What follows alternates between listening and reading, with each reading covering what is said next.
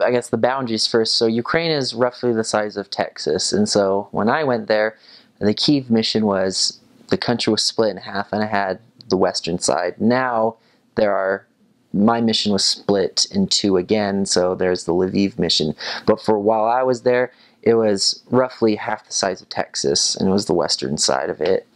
And I'm pretty sure within a month or two, maybe, of the collapse of the Soviet Union, I think church leaders went to Ukraine and um, blessed the land for missionary work.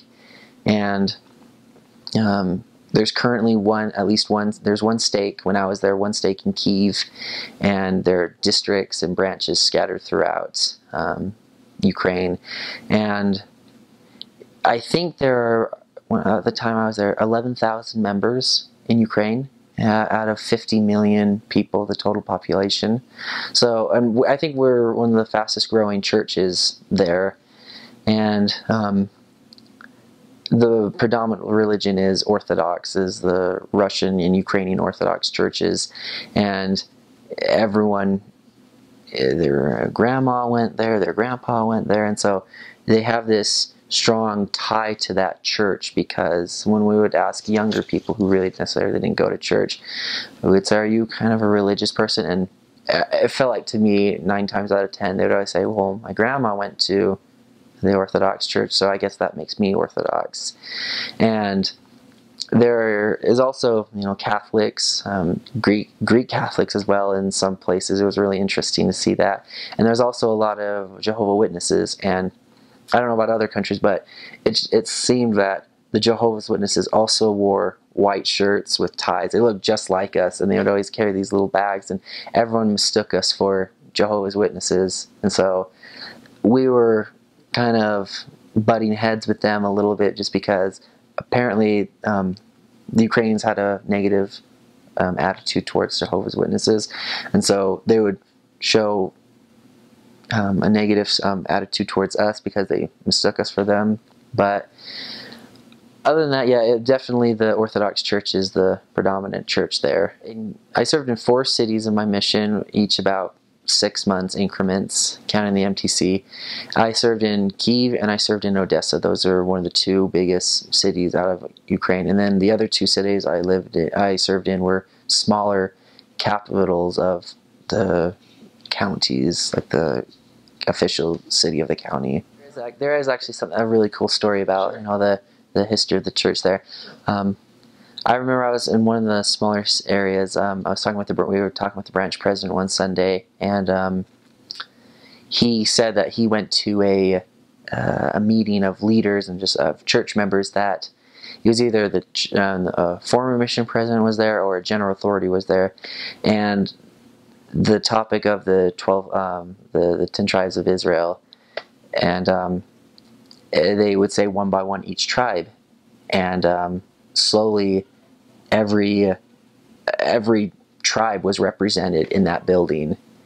I mean, in that room, and it was really interesting to see. Like the leader would point out because there were missionaries in that room at the time. He said, "See, this is why we're here: is to bring back bring back Israel together and to unify it. And so that seemed really interesting because here you'd see everyone is from one or two tribes and it's the it's the norm. But there, everyone was from represented all the twelve uh, all the tribes of Israel.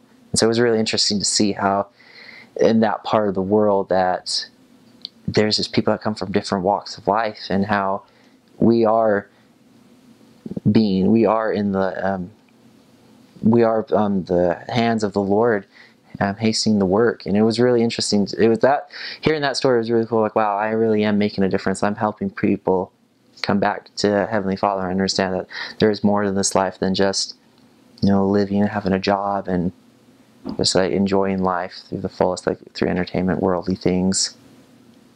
So there are four missions in Ukraine. If you kind of like split the country into quarters um, vertically, so there's um, with the current political events, there's currently only three. But um, so the four missions in Ukraine: Lviv, Kiev, Dnipropetrovsk, and Donetsk. Um, there's only the Lviv mission, which is on the furthest western part portion of the country, bordering Poland, um, is the only one that has Ukrainian-speaking missionaries. And the other three missions, all, everyone is called Russian-speaking. So I didn't even hear any Ukrainian or um, at all till my last area, which was very as further up north in Poltava. Um, kind of, it was the closest city in our mission to Kiev, and that was where I. That was the only area where I ever heard any Ukrainian. So there is a temple. The church is going. If you look at, um, so the first missionaries got there um, in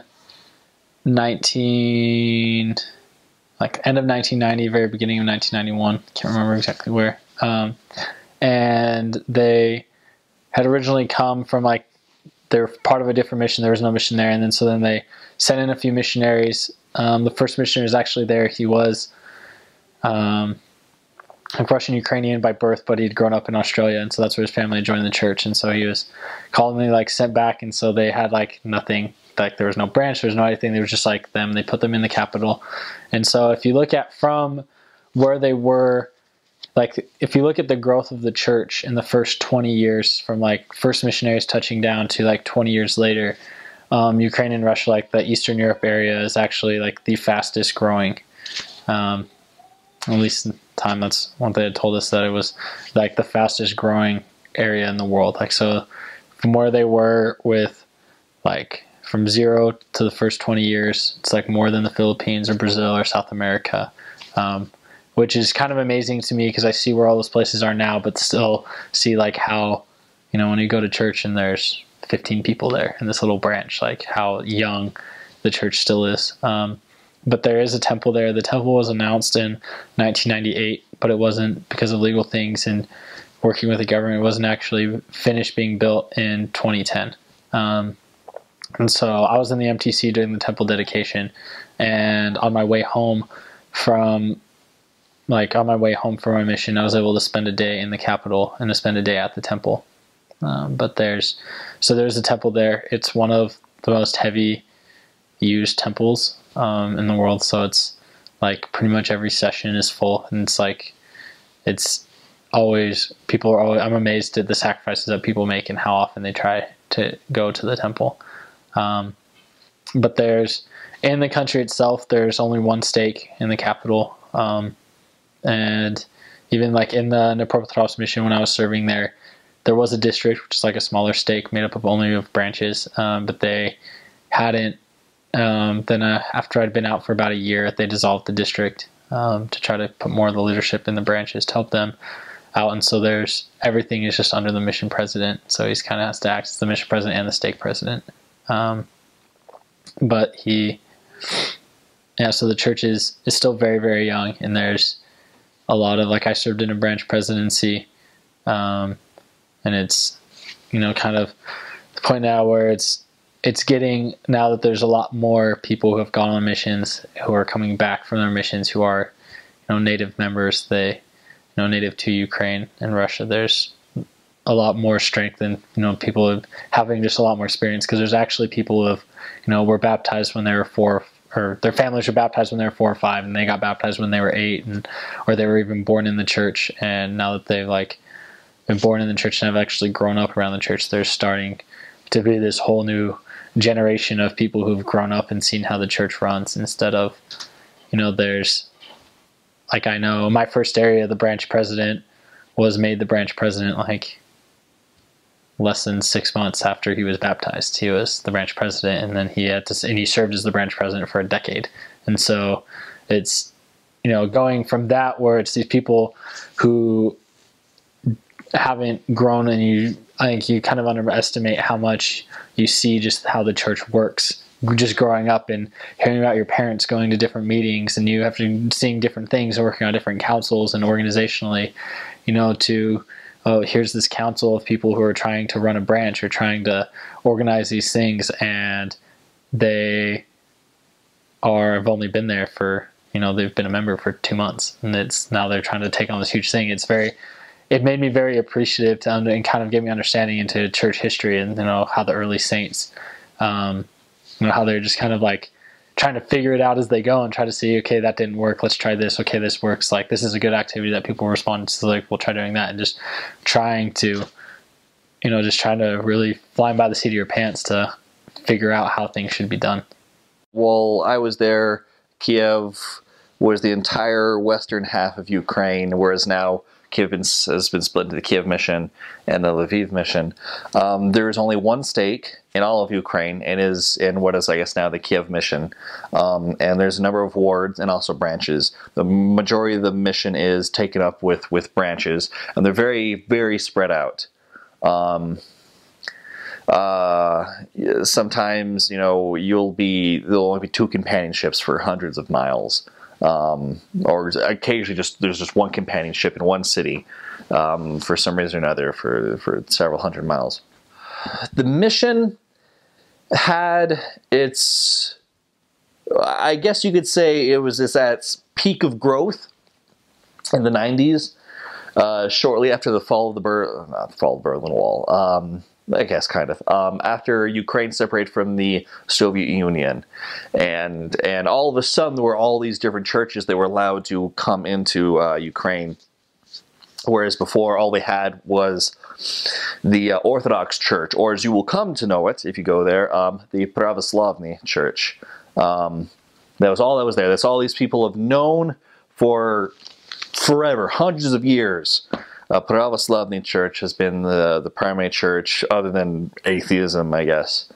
Um, and so all of a sudden, all these people were really excited about all these churches, and and the church just kind of exploded for a while uh, there in Ukraine and in Russia, but mainly Ukraine. Ukraine, uh, Kiev, Ukraine mission particularly, um, has been the highest baptizing, I believe, uh, mission in Eastern Europe for uh, quite some time. Um, we do work there. That's that's why the first first uh, stake in Eastern Europe was in Kiev.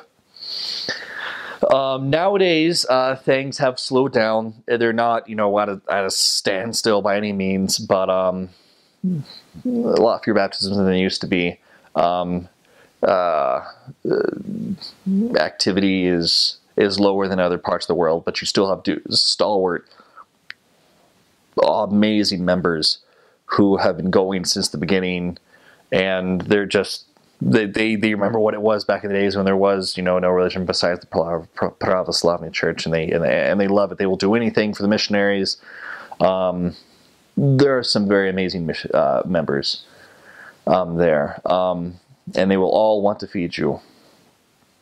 Um, everybody, all all of Ukraine wants to feed you for the most part. If they don't hate you, they want to feed you.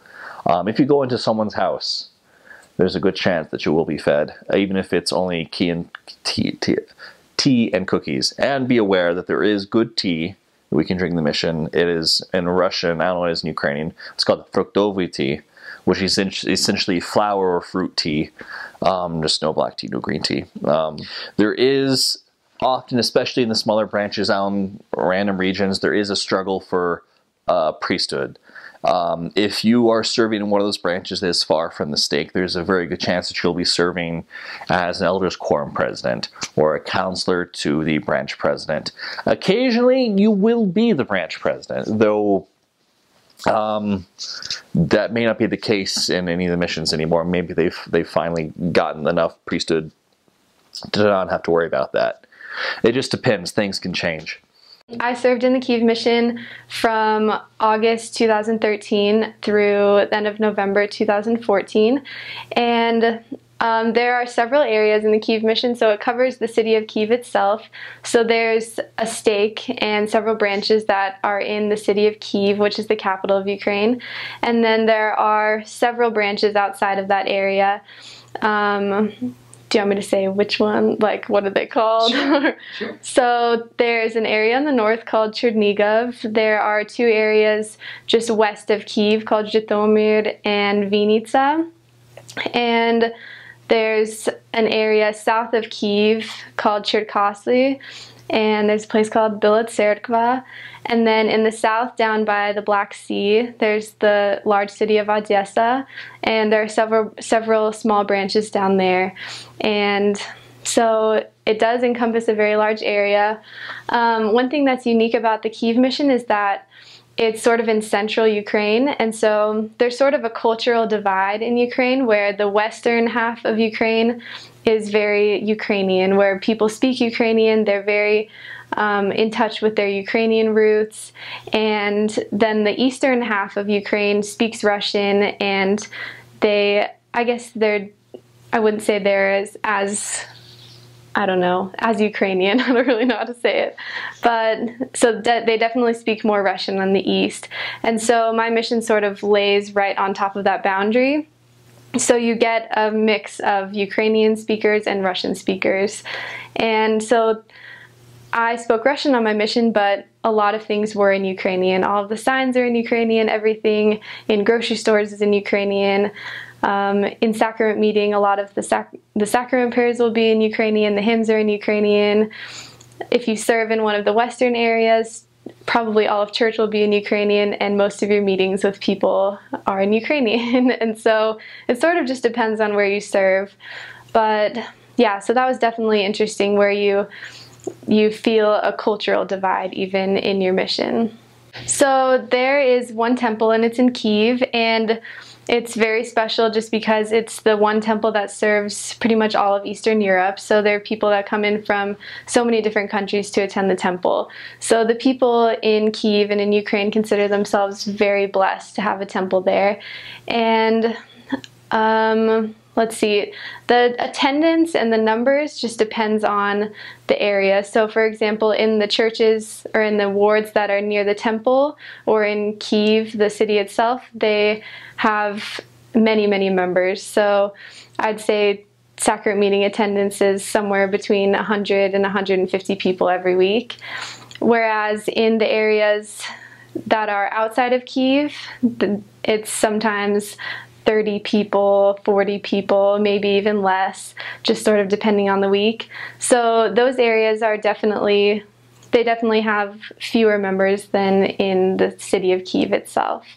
But the um, religious feel is interesting because it depends on the generation of the people that you teach. So many of the people of the older generation either were raised to believe that there is no God and they're not very open to the idea of there being a God, or they are Russian Orthodox or Ukrainian Orthodox. And that's definitely the predominant religion in Ukraine.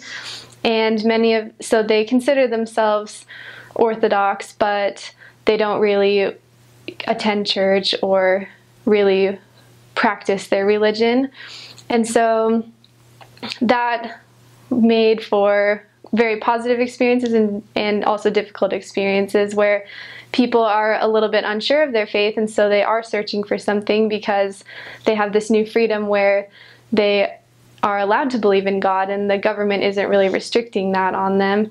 But at the same time, some of them aren't really sure how to believe in a God.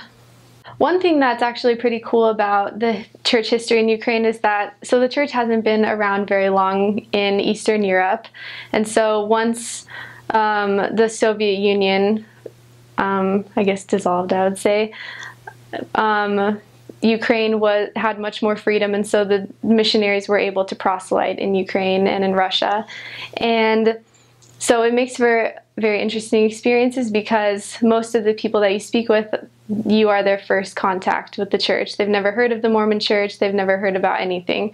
So it puts a really awesome responsibility on the missionaries because you are the, their very first contact with the church. And so it, I don't know, I guess it just made us feel like we really needed to be friendly to these people. We really needed to love them and have them have a really good first impression of the church.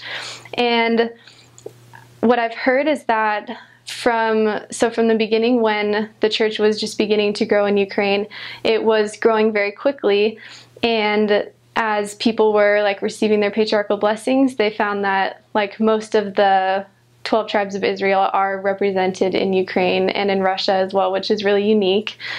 And so they are a people very, very prepared for the gospel. And so you hear that some of the people are unhappy or that they are not as smiley, but that's just their culture. But they are a very, very happy and loving people Tea is definitely a very strong part of Ukrainian culture. Everyone, whenever someone comes over to your house, you give them tea. And so that was definitely a struggle that people had. Um, in the men, I would say smoking and drinking was definitely a problem. And with regard to the law of chastity, I think some people just don't see the importance of having a legal marriage where they people will live together and they don't really see the point in having a document representing their marriage. And so they're committed, and once they understand the importance of the law of chastity, they are willing to get married and follow that commandment. Um, I would say that getting people to come to church was, from what I've heard, easier than like in some other places just because people do love feeling the spirit. They're a very spiritual people and they're very sensitive to the spirit and so people really loved coming to church and they loved the feeling in our church buildings versus the feeling of or the feeling that they had in other church buildings. They felt like it was comfortable, that they could sit down, that the music was beautiful, that people were friendly, and they loved that feeling of interaction with other people. So people always generally had a positive experience at church and they were very prone to come to church very often and progression toward baptism was slower but there were people who would just come to church because they loved it. So I spent most of my mission in a northern area called Chernigov, and it's about two and a half hours north of Kiev, and so it's on the border of Belarus and Russia. And so I spent seven transfers of my mission there. I loved it. It was, it became my home. I really loved it. And I served in an area west of Kiev called Vinnytsia. And so there, there was a lot of Ukrainian language, a lot of Ukrainian culture. So that was a big contrast from serving in an area in the north that bordered with Russia. So it was very Russian, lots of Russian language, and then moving to an area in the west where it was very Ukrainian. And then at the end of my mission, I served for three transfers in um, the city of Kiev itself, just right on the very edge of Kiev. And so it was called Svetoshinsky. And it was the area next to the area that was in the temple region. So it was only about a 15 minute bus ride from the temple. So it was really cool because every time we would go to the church with meet with to meet with people, we would see the temple on the way. And so that was a really special experience because it was it was a ward full of people who had been in the church from the very beginning, who were among the very very first members of the church in Ukraine. And so hearing their stories and hearing about how they really were the pioneers of the church in Ukraine was a really, really cool end to my mission.